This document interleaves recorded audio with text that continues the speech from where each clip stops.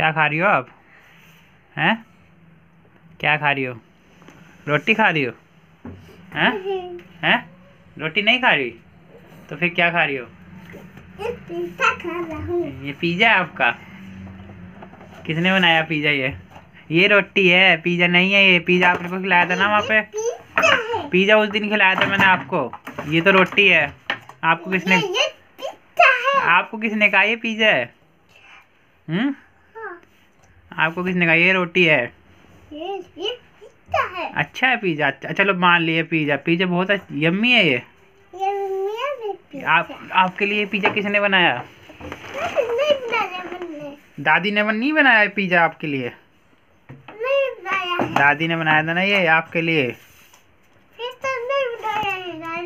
Pizza नहीं बनाया तो फिर क्या बनाया ये?